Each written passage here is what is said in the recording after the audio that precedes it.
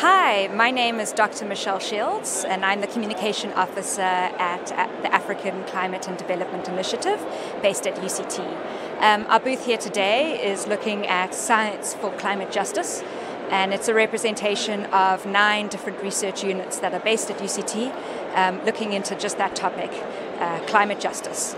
So, Africa is thought to bear the brunt of climate change um, in the future, and UCT is taking a, a big priority in terms of making sure that research contributes towards relevant policy and action towards climate justice to help prevent some of these burdens that Africa may experience.